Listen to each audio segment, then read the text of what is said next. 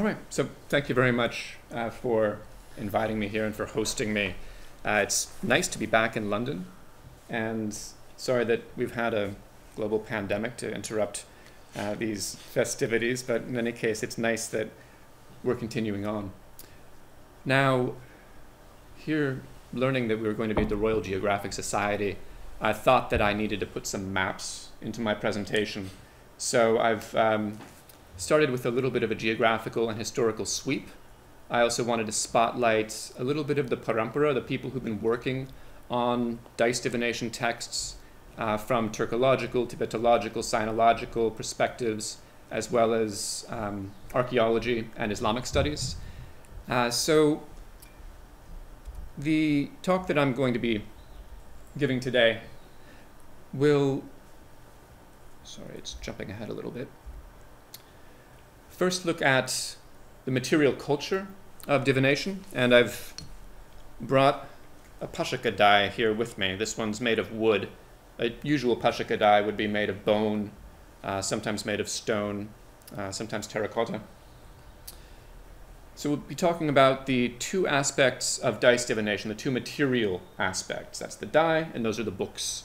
Uh, and then getting into recent advances in Old Tibetan studies, I wanted to focus on two of those more textual aspects, but sticking again with the material side, looking at compilation texts. The fact that a lot of these divination texts are found in compilations, in scrolls or in codices, where they sit side by side with a lot of other different texts, and what their textual neighbors might have to say about them. And then also to the format. I mentioned scrolls, I mentioned codices, so I will um, briefly introduce what the significance is when you have such texts in a scroll versus in a codex.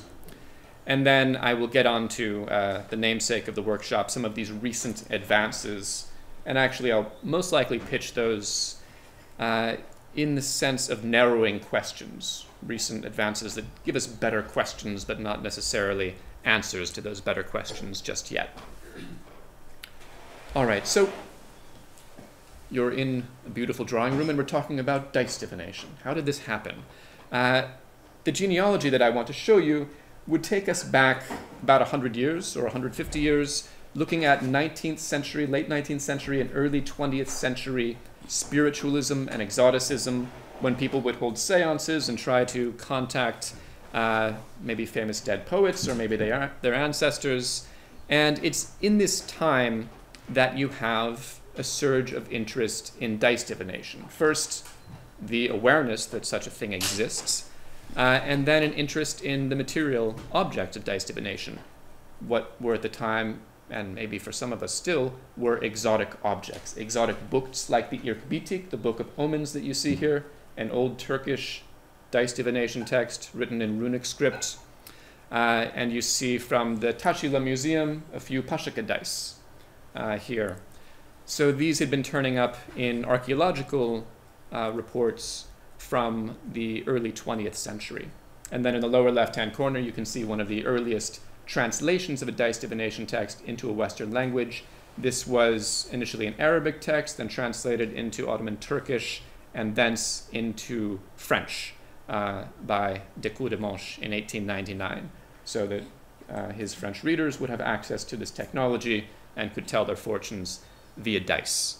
So we've got exotic dice, exotic books, exotic languages, exotic wisdom, and a background with a cocktail of theosophy and Orientalism. So I wanted to introduce some of the people who probably would be comfortable in this drawing room, um, who are at the origins of this tradition of research into dice divination. Uh, here we have Albrecht Weber, uh, who wrote in 1859 on the Pashaka Kevali, and Frederick William Thomas, uh, who worked across London at the British Library for some time and was also at Oxford. So I'm going to go through this genealogy briefly, uh, first looking at Indology, then its Central Eurasian studies, including here Tibetan, Turkish, and Sogdian studies. Uh, a glance at Islamic studies, do we have any people working in Islamic studies in the room? Shame. All right, and then sinology and then archaeology before we move on to those compilation texts, codices, and recent advances. So, in terms of this one's jumpy. In terms of Indology, uh, I mentioned Weber. Uh, you just saw his picture. He had worked on this text called the Pashaka Kevali. The Pashaka is the die that I've just passed around. Uh, the Pashaka Kevali is the book that goes together with that die uh, that shows you how uh, you can use this die or three different dice to throw them and in that way create a combination, look that combination up in the manuscript and in that way get uh, your, your fortune told. So this is a canonical text in the sense that there are many different versions of the Pashaka Kevali. Uh, they were edited, uh, or quite a few of them were edited uh, by Schröter in his 1900 uh, thesis.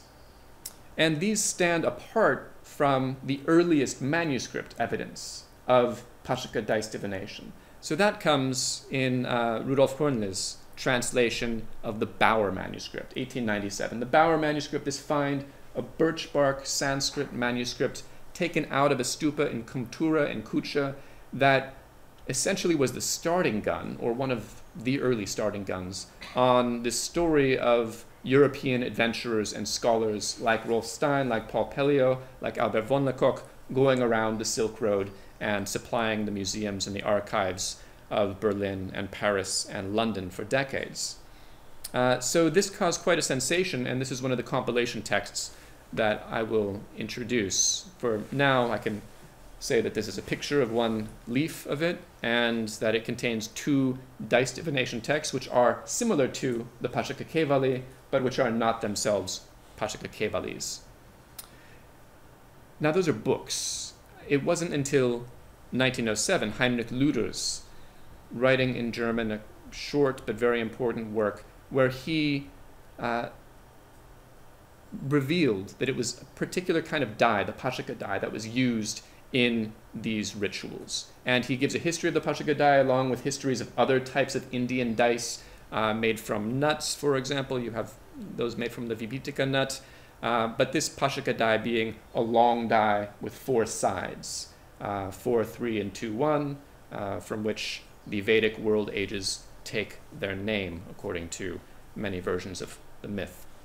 Now you have a big jump in time. It's almost like the book is closed on dice divination and Pashika dice uh, until the late 20th century, where there's a resurgent interest in the ludic aspect, in Leela, in Indian religions, in play, and in these dice games that Shiva and Parvati play, or in these dice games that might stand at the origin of these vratyas, these fraternities. So Harry Falk, David White, uh, Handelman, and Shulman are writing about these issues uh, towards the end of the 20th century, but not not so much um, working on the Pashika Kevali qua Pashika Kevali.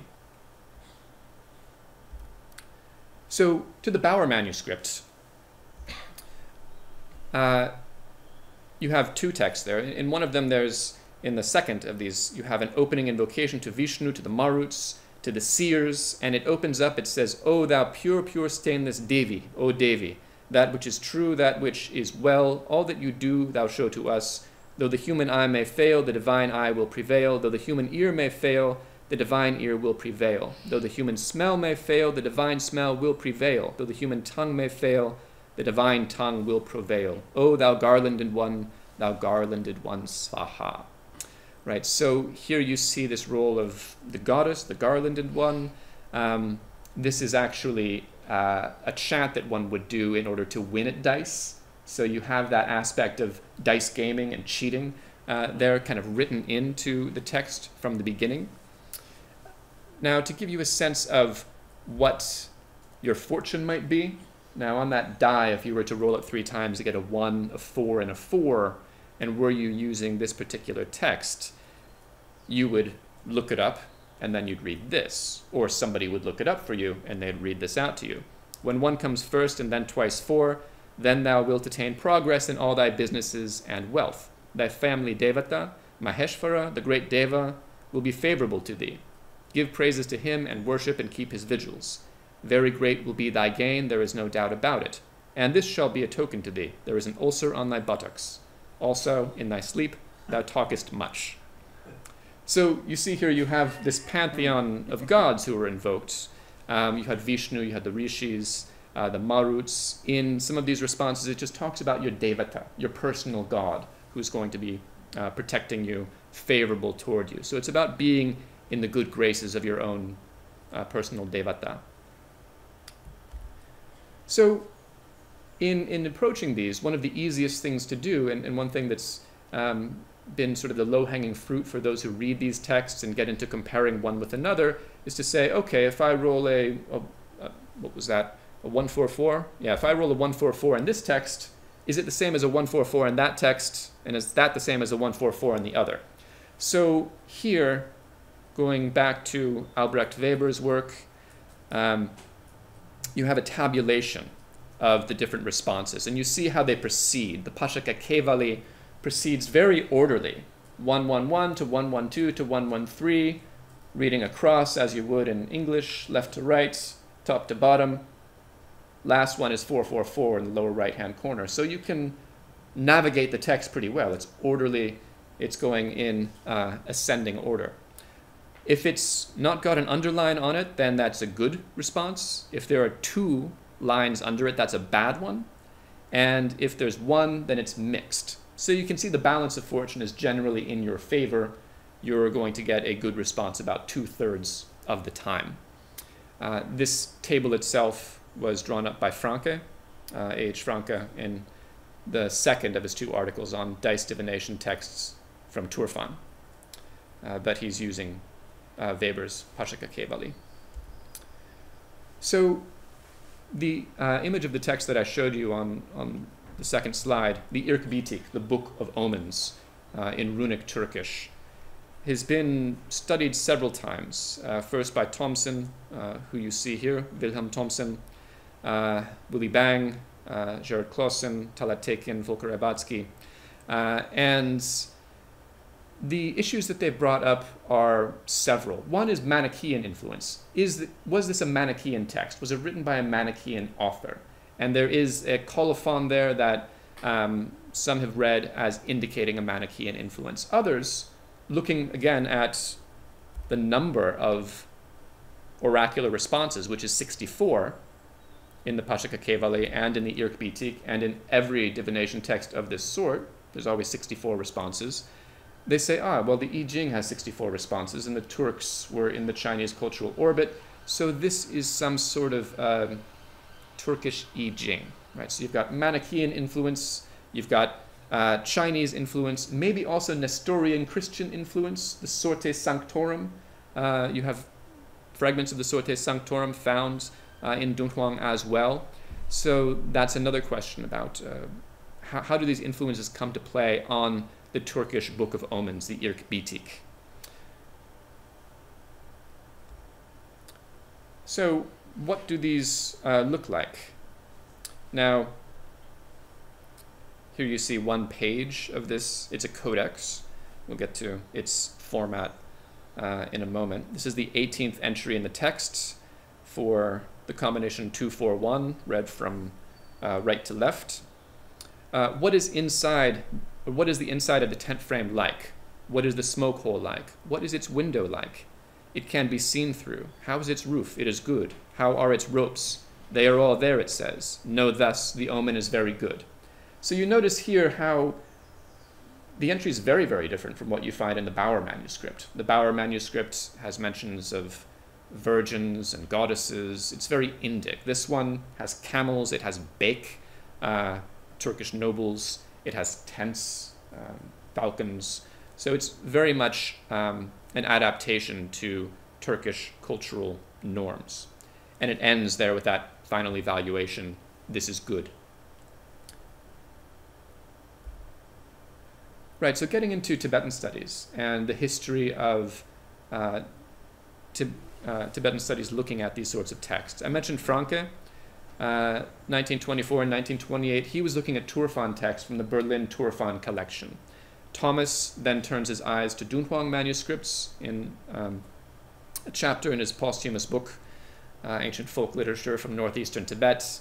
MacDonald gets in on uh, the action, writing about divination in her magnum opus in 1971. Stein uh, gives a very interesting study of divination about its poetry, the oracular poetry of Tibetan divination, and how the poems, as he calls them, stand really at the origins of Tibetan poetry and song. And there's an intertextuality that he finds between one oracular response and another throughout a divination text. More recently, the two people who've been working on these texts are Ai Nishida and myself. Uh, Nishida's been surveying them and establishing preliminary typologies of these texts in terms of their structures uh, and their semantics. I've also been studying semantics, ritual assumptions, and material culture. So if you were to be using one of these Tibetan texts, the oldest one, or sorry, the newest one, the most recent, it's a 10th century codex, uh, and you were to roll a 1, 3, 3 with that die, you would get the following. Oh, since you made a good offering on the site, you killed your hated enemy without even worshipping the gods. You killed a deer on the wastes without even exchanging with the men goddesses. Offer to the gods of the land and hunt the deer of the north. Gather your beloved relatives and strike your enemy's heart with a dagger. This divination is excellent for whatsoever you've cast it. Now, about intertextuality, that same response is found in a 9th century scroll. And there it's for the combination 424 instead of 133. So there's a lot of mouvance, there's a lot of um, movement of these uh, across formats um, and also across numbers. That number is not a reliable anchor for the content that follows from one text to the next. There's no single text that you can point to and say, this one was copied from that one reliably. Those ones where there are overlaps, it seems more um, to be uh, a transmission of tradition uh, rather than a transmission of, um, of text, uh, barring just one exception. So moving into sinology, um, here we have the Moshisholowobu, the divination of Maheshvara. Right? We saw Maheshvara as the family deity in that entry from the, uh, the Bower manuscript, and Shiva along with Vishnu being invoked in the, uh, in the preliminary materials before the divination text in the Bower manuscript. This text itself is named after Maheshvara. So Maheshvara is a great shape-shifting god moving across the boundaries of um, one religious tradition and another, and also moving across geographical boundaries. Um, into esoteric Buddhism and 10th century Dunhuang and its Chinese um, devotees uh, here in this text. So this has been first brought to uh, scholarly attention uh, by Marc Kalinowski in 1994, then again in 2003. And then you have uh, studies by Wang Aihe, by Lu Deting, Wang Jingbo, uh, and Michel Strickmann as well. Strickmann's being sort of a uh, forerunner to uh, what I've been trying to do with getting this larger global geographical picture on this tradition and its transmission. Uh, he had a, a, very similar project of trying to take stock of the, the transmission of divination. Uh, and I should mention, I've got a book coming out with Connie Cook and Zhao Lu on this text. So, were you to roll a 222, um, that is the second uh, entry in this text, and you can see it right there, 222 at the top uh, of the page. It would say this is named the god Vinayaka set. If a person has issues to resolve, the god will protect him or her. Whatever she needs will soon be obtained, clothing and food will come of their own accord, and whatever she seeks will be fulfilled. Subsequently, camels, horses, and various domestic animals will not die or be injured. Greatly auspicious. So, like the uh, like the Book of Omens, which ends each response with "Know thus it is good." Uh, a clear evaluation. This one too ends with "Da ji," greatly auspicious, or if it's not, "Xiong," you know, inauspicious. So, in terms of that perspective too that you have um, with sinology, some of the people who studied this uh, made different connections Kalinowski looked at it in the context of numerical trigram traditions, right, where you have numerical trigrams that you might find in the Ling Qi Jing, um, in the Jingjue, in the Guan Gongming, or in any of the uh, other of these Chinese divination traditions where you're not creating um, a, tr- a, traditional hexagram or trigram of, of single or broken lines, but rather a set of numbers like 432 or 616. Um, so he was looking at it in that context. Others, uh, like uh, Wang Aihe, assume that it had to go back to the I Ching, again, because of the number 64. There are 64 responses in this text. Um, and I look at it, along with my co authors, in the context of this larger tradition of Pashika dice divination. All right, so here we have uh, Gustav Flügel. All of these, um, all of these figures, all these black and white figures we have are uh, coming from Germany, it seems. Um, so Gustav Flügel in 1861 revealed the existence, again to the, uh, to the Western scholarly world, of Falnama and Kitab al-Fal, so Persian and Arabic texts on um, luck, on fortune that use dice, and uh, summarized a few of these alongside many other traditions of divination that he found in Arabic texts. 1899, you have this translation by de Courdemanche. Bess Donaldson, in her book The Wild Rue of Persia in 1938, describes witnessing divination seances using dice, and then you have other um, attestations of dice of this type or of similar types, Ramalapasa, related but different kind of die being used for divination in Persia and in India. Uh, then you have people like Emilie Savage Smith writing about the material culture of these dice. The die that you see here, with its four sides of one, two, three, and four, and all of those small ornamental circles around it, is kept in the Khalili collection here in London. There are two such dice uh, in the Khalili collection here. The die that I've passed around is about 7 centimeters long. That die is closer to 11 centimeters long, so it's a bit larger. And the other one in the Khalili collection is more ornamental. Inside one of those roundels, one of those pips, you have uh, a scorpion. Um, and in another roundel, you have a bird. So there's a little bit more ornamentation on those. In any case, Savage Smith and others who have written on these dice, probably found near Fustat in Egypt, have dated them 7th to 10th centuries roughly. All right, so what would this look like? In the Bodleian uh, shelf mark um, OR 133, we have another very interesting compilation text. And the most famous book in this compilation is the Kitab al Bulhan, which is sometimes called the Book of Wonders.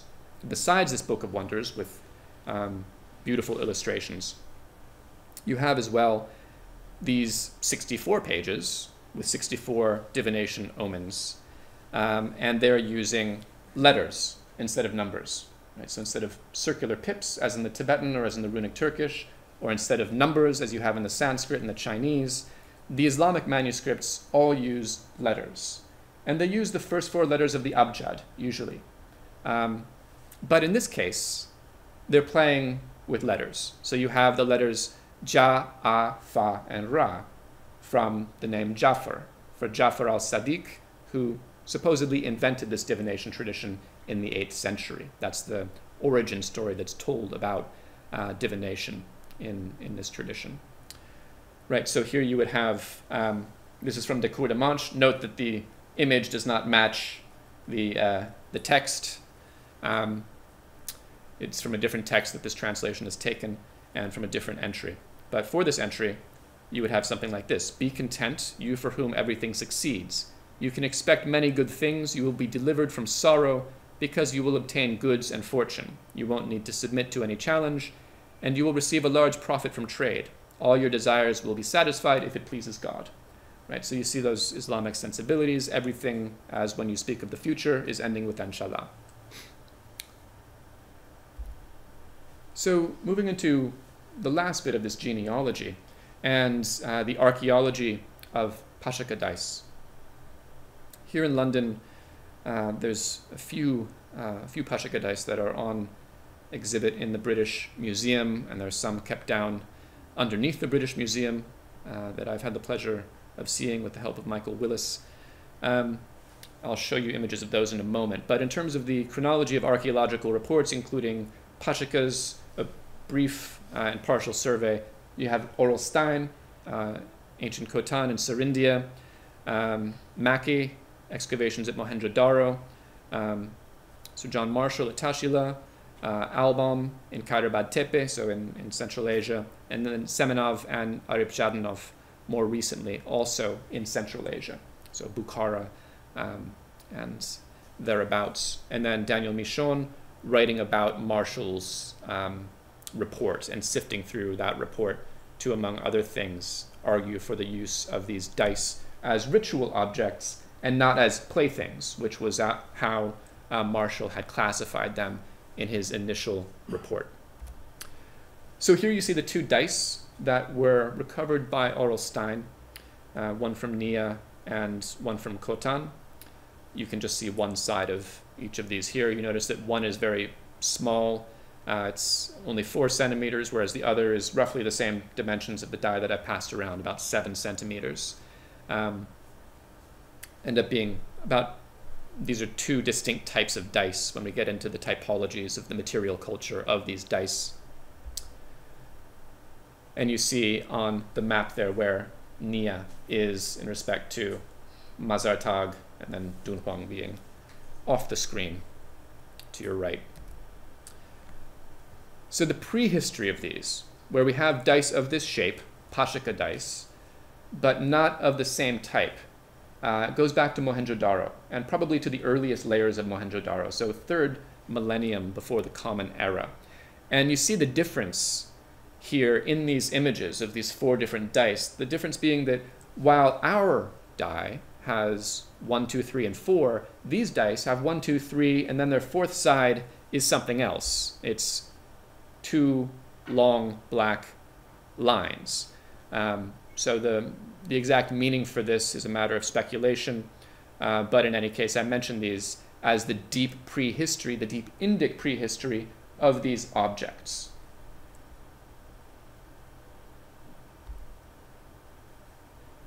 The, um, all of the other dice date to roughly 1st century through 10th century of the Common Era, maybe some a little bit earlier.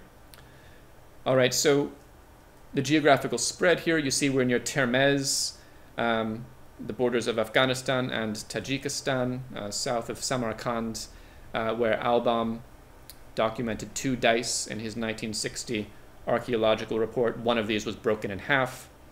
Going further south into Taxila, Taxila, this extremely important uh, city on the banks of the Indus River, uh, very important for the transmission of Buddhism out of the heartland of India up through into Gandharan civilization and thence into uh, Transoxania.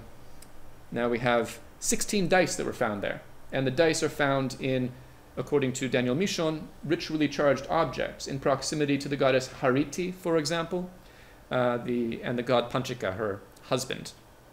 Some are found near stupas, and there's also a group of three together, again suggesting divination, because while you can cast one die three times, in divination, you can also cast all three dice at once. So these are two images of dice found there. You see the differences also in their ornamentation. They're pips, some with simple concentric circles, the other one in the middle with three small circles inside of the roundel. And then moving into Central Asia to these uh, more recent archaeological reports by Semenov and by Aripjadinov, um, we have these interestingly kind of tracking the movements of Buddhism and the farthest northern and western expanses of early Buddhism. And you see the variety of dice here. Most interesting is in the top left. It's the only die of its kind. I mentioned the um, scorpion and the bird inside the roundel in one of the Khalili dice, but this one has not pips but birds. One bird, two bird, three birds, four birds, right? And different types. It's a peacock for one, and it's two uh, cocks for for two. For three, it looks like doves, and for four, also, it looks like doves. That one? In particular, um, I believe that's from near Bukhara, but I can get you the details later. So, to those two objects kept in the British Museum, this one uh, from uh, Khyber, Pakhtunkhwa, it's um, snub nose, so that's to say only four centimeters. You can see the, the measuring tape right next to it when it was photographed, um, made out of terracotta. Date range is not really certain on this, but as I say, it's a very wide date range from around uh, the first century to the 10th century of the Common Era. And then you have uh, this one made of stone um, from Stuart Grattan's collection. This from uh, further further south, Lal Tibi, uh, in the Punjab in contemporary Pakistan. Now, going further to the west, I mentioned these these dice, um, probably from Fustat, though their provenance is not certain. And here you can see those roundels that I mentioned in the perpendicular die, and you see the other um, Khalili die to its right. Above them is a die that's been on um, exhibition in the Louvre in the Egyptology section. So uh, Savage Smith has written about this, Irving Finkel at the British Museum has written about this, and then in terms of people who study the um, history of games and play, uh, Stewart Culin, who was writing about the origins of playing cards and dice and all sorts of different games, uh, wrote about these particular types of dice uh, in 1896 as well. All right, so with that, um, with that survey, that genealogy, I wanted to go into a bigger picture of this tradition. Um, one point to make about dice is that dice are usually balanced. Does anybody play with dice? Anybody a gamer or a gambler? You've got a die? What kind of die do you have? Just ordinary. Yeah, let's see one. The kind that you use. You've got a six-sided die? But I, mean, I just use the kind of dice that you use when you're playing games. All right. So look at your six. What's on the other side of it? A one. Your five, opposite is a two. Opposite your three, four. So it's always adding up to seven. Right? The seven days of the week, the seven heavenly bodies. There's a cosmological reason for that. And even when you look at other sorts of dice, you know, if you get into funny games and you have to buy a 12 sided die or a 10 sided die or a 20 sided die, then usually they still do observe this pattern of balanced opposing faces. Um, not so in these dice. The die that I've given you does not have balanced opposing phases, and that's because most of the dice, as far as I've been able to tell in any case, uh, also follow this pattern. The pips wend around the die in descending or ascending order 4, 3, 2, 1. You don't have 1 opposite 4 and 3 opposite 2. The opposing sides don't add up to 5. In other words, it is an unbalanced die. So the reasons for that balance, I just mentioned them to you, they're cosmological, around the number 7. The reasons for this imbalance, I believe, are also cosmological, and they just go back to what I mentioned about the Vedic world ages taking their names from the rolls of dice, the Krita, Treta, Dvapara, and Kali ages, right, in descending order until the destruction of the world and its recreation and the repetition of this pattern again.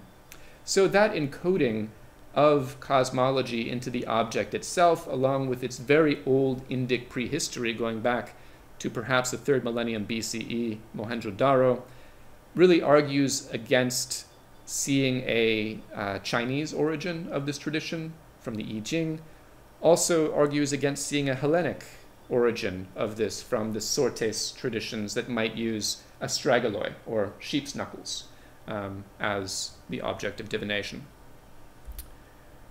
So we have dice in Taxila, Gandhara, or Gandhara, Khyber, Termez, Sogdiana, Samarkand, Kashgar, Kucha, Khotan, but uh, not Dunhuang we don't have them there. Um, in any case, this movement of dice across time and across space tracks fairly nicely the spread of Buddhism as well. And these dice are found in the literal shadows of stupas across Central Asia and across the Silk Roads.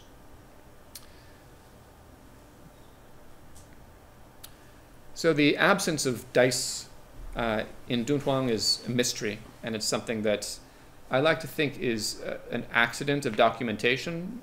I believe they ought to be there. Uh, maybe they are there and I'm just not aware of it, uh, or people have come across them and not known what to do with them. Uh, but it is a missing piece to this puzzle.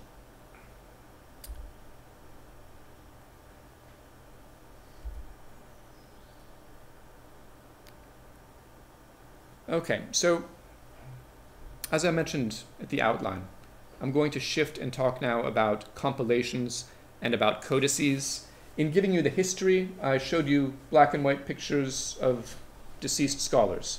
I also showed you a few images of the manuscripts and some excerpts of their contents, just to give you a sense of the flavor of these texts. But for the most part, as fascinating as their contents are, I'm going to sidestep those in the presentation. In the Q&A, feel free to uh, ask me more about the contents. I'll even let you test out uh, test out the method if you want me to tell your fortune. So I'm going to go back in time a little bit. Uh, I've been visiting the British Library uh, the past couple of days, and I'll go there again tomorrow. My first visit there was in the early 2000s, and it was to see this scroll here. It's a very long one, 8.5 meters long, and if you've not been rolling scrolls, um, it's quite a lot to deal with having to roll and unroll 8.5 meters of one. Uh, when you're first uh, encountering Dunhuang manuscripts. But in any case, this posed a problem, uh, not just one of logistics and rolling and unrolling, but the fact that there's two texts on this scroll. I was reading it for the legal text mostly. That's the second half of this, or that's one half of the scroll. Um, the second half of the scroll is this legal text. And the first half is a dice divination text.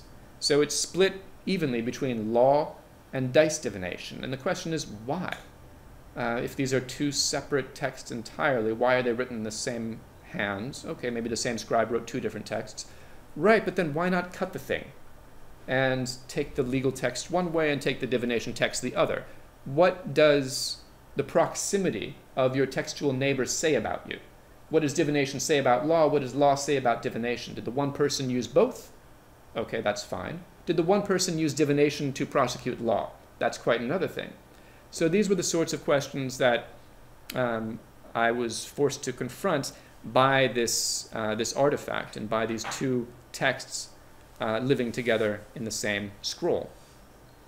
So I wanted to look at this from the perspective of compilation texts, when you do have these textual neighbors, and the question is what these neighbors say about you. So this, the, the legal text uh, is called Replies to Queries from the Shotsik of the Tiger Year Kasho. For those of you who don't know Tibetan, Sho means dice. Um, that's one of the things that Sho means. Uh, and when Hugh Richardson came across this, he assumed that Sho couldn't mean dice, that it had to mean something else, that it must be tax, right? Even though we don't really have attestations uh, from this period or anywhere near this period of Sho meaning tax. Shobe can be fraud, uh, but then you have shobe, which is a compound and it's different from just sho uh, or cholo, which is also dice.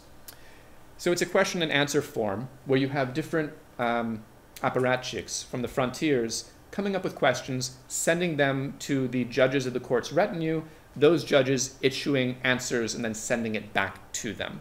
So you can think of it as an FAQ of its time, where this was circulated and it ends up being part of a responsive legal code where it's not just here are the statutes to follow, but here are the statutes to follow, and here's this other document that tells you how people have negotiated these specific situations that might be like yours when you come up upon a similar problem. And this was not the only text of its kind. Uh, it addresses discrepancies with a similar kasho uh, issued in a horse year as opposed to this tiger year. So, thinking with other compilations about the relationship between dice divination and law in our Tibetan scroll IOL TibJ 740, we can look to the Moshisholowobu, the divination of Maheshvara, this dice divination text from Dunhuang, the only Chinese text of its sort attested so far. So it is in a codex, a large codex, that includes eight texts, and it's the second of these eight texts and it's split half and half four divination texts, four medical texts. Um, now, this codex is also pretty well worn. It has a tear in it uh, as well. It's greasy. It looks like it's been used probably for the purpose that it was intended to perform divination and to be at hand when uh, doing these particular medical uh, processes. But as you can see, or not, I think the text is a bit small on this slide, there's a blurring of lines. And that blurring is very helpful, it's very intentional between medicine and divination, uh, between prognosis and diagnosis, as it were. And especially in that eighth text, which is called Tracing Signs of Disease to the Origin by Divination from the Sounds and Colors Corresponding to the Five Viscera. Right? So you see divination being used in the service of diagnosis and medicine here. So we have the Moshishuluwabu, the divination of Maheshvara, as the second text, nested with these other divination texts, and then moving on through the codex, you have these treatises on the five viscera, on pulses, and so on. So, looking at uh, further compilation texts, we have a text that's been recently written about by Nicholas Sims Williams. Uh, and I'm relying on on him. He's kindly shared some of his his work on this with me. It's preliminary, and I'm sure he'll, he'll be publishing this soon. In any case, I don't think I'm revealing anything uh, here uh, that's not already more or less public. Um, so there's this Manichaean Sogdian codex fragment. It's a different kind of codex than what we have in the case of the method of Maheshvara, the divination of Maheshvara. That's a butterfly bound codex. So in a butterfly bound codex, you take bifolios, you fold them, and you lay them on top of one another. So you'd have one like that, then another like that, and you glue them or paste them, sometimes wrap, uh, wrap a binding around the spine. As you would do when making a booklet for, say, a small conference, um, with the Sogdian Codex, you're putting these bifolios, nesting them around each other, uh, the way that you might with a booklet, putting a staple in the middle these days. Um, so here, this fragment has, it's uh, kept in, in Turfan, in the Berlin collection.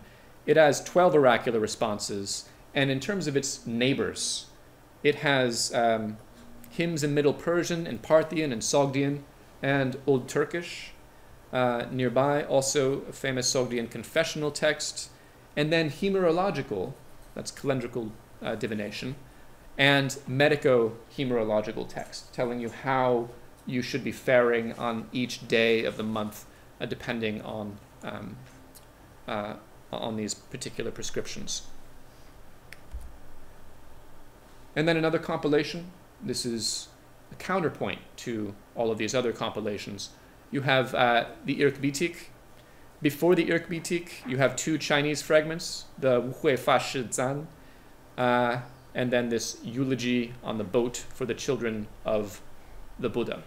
Now, Rybatzki has argued, following a few others, that these aren't related at all to the, um, the Book of Omens, to the Irk Bitig. In fact, they're there at the beginning and they're there at the end to protect it from weather, to protect it from damage. They're essentially padding.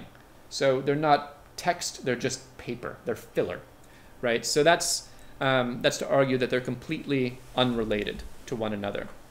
So you have these two poles of, of argument in terms of intertextuality and uh, proximity for these texts. You could have something where they're ostensibly related, as you find with those eight texts in the codex in which the divination of Maheshvara is found, where divination is used for diagnosis in a medical, uh, in a medical method. But then you have this weak argument where these texts need not be related to one another at all. They might just be padding, they might just be protection. So, thinking with these um, about archaeological context and physical proximity, what do we say about these that are found, found together? Does their proximity necessitate a relationship at all?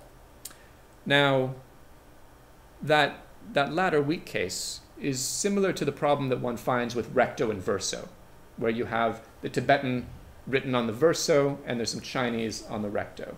And maybe somebody has taken a few different Chinese scrolls and pasted them together to make a longer scroll in order to write a Tibetan text onto that scroll what's the relationship between them? It's just material, right? There's no necessary relationship between the Vajracchedika that you find on the Chinese side and the legal text that you find on the Tibetan side.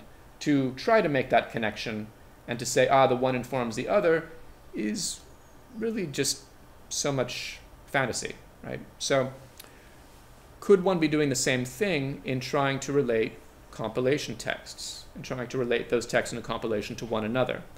Um, or is it purposive that they are next to one another? Uh, this is a variant of the problem that we find in tombs, tombs of Chinese officials who have legal documents alongside divination texts in their tombs together. And different people have said, ah, this, this means that judges, magistrates use divination in order to um, decide legal cases.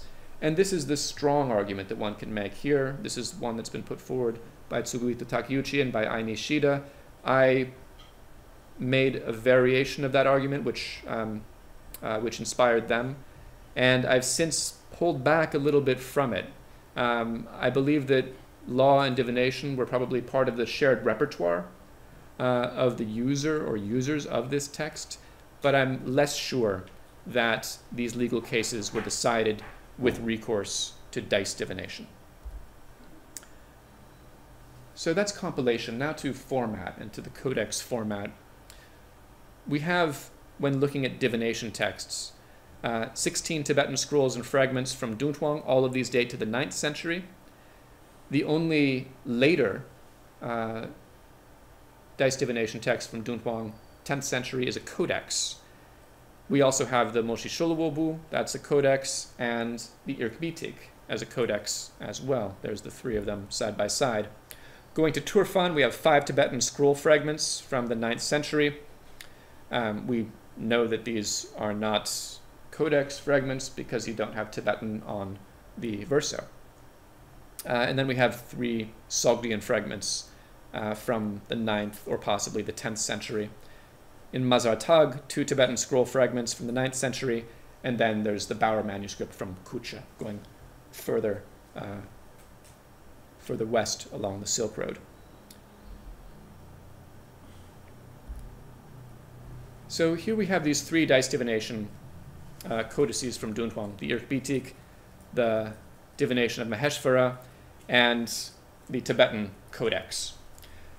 So these are different in format. Both the Irk Bitig and the Moshi Sholowobu S5614 are butterfly bound, and you can see a nicer illustration of what butterfly bound means in the uh, image below. You see that the divination of Maheshvara is very large. It's 30 centimeters high. So this is a good sized booklet. Whereas the Irk Bitig is pocket size, 13.6 by 8 centimeters, and the uh, Tibetan Codex is also comparatively small.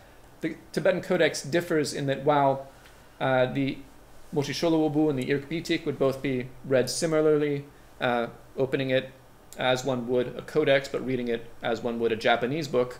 Um, the Tibetan codex is headbound. So you bind it at its head and you flip it vertically. Right? So that's the orientation, uh, the difference in orientation of these texts.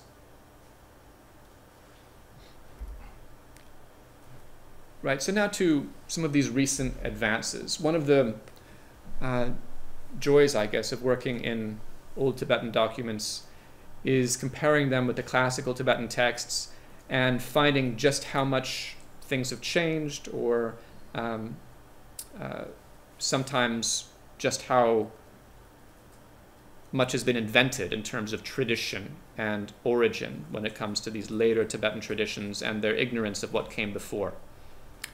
So, from that perspective, we have a text called the Mozi. It's in the Tenjur, uh, this collection of uh, commentaries on the word of the Buddha, part of the Tibetan canon, the Kanjur and the Tenjur. And this is attributed to Shantideva, right? great Indian Buddhist philosopher of the 7th to mid 8th century. The colophon states that it was translated by Gautam Sri and Tarpa Lotsawa Nyima Gyaltsen, so these are 13th to 14th century figures. And it has, like all uh, Pashaka divination texts, 64 omens. So a, uh, a version of this was translated by Roger Housden and Stephen Hodge, and it comes with these dice. So these are uh, little Pashaka dice that you can pass around and have a look at. The difference that you see in these Pashaka dice compared to the earlier die that I passed around and those that have been attested by various archaeologists from India to Central Asia is that this one is inscribed with letters. It's inscribed with the letters A, Wa, Ya, and Da. Um, so these um, this means that you would have a combination like a a a or a wa a as opposed to one one one um, or one two one. It also gives you instructions for how to inscribe these dice, uh, how one needs to take it from the root of a particular tree uh, and make it according to um, the specifications given in the text.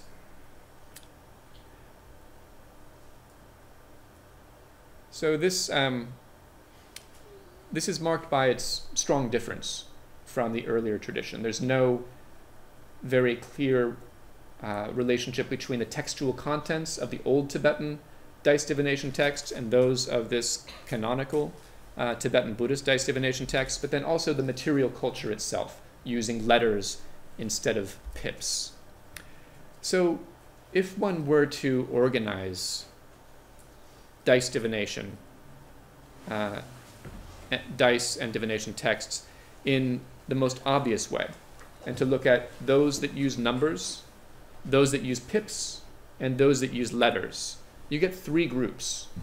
One is the earliest dice divina- divination text, the Bower manuscript, 6th century at the latest. And then the next is the divination of Maheshvara, this Chinese Dunhuang dice divination text from the 10th century. Those ones both use numbers. Then those that only use pips, so they're representing on the page exactly what they get from the dice throw, one to one representation. Old Tibetan texts and the Old Turkish Irk Bitig, 9th century and 10th century. Then there's those that use letters. So you have here our Tibetan Buddhist texts, the Mozi, 13th or 14th century.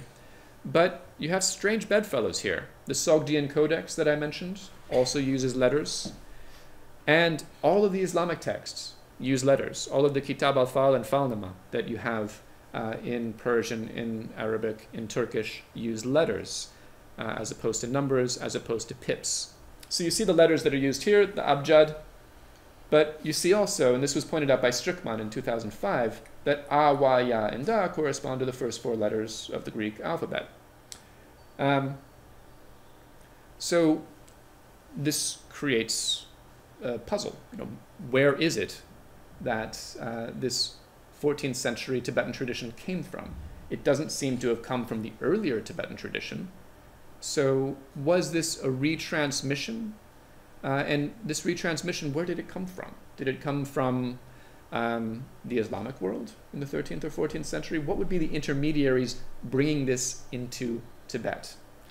Uh, so these are these are partly linguistic problems in terms of what language uh, was the intermediary for the Sogdian, and this is something that um, Nicholas Sims Williams is is addressing uh, in his work.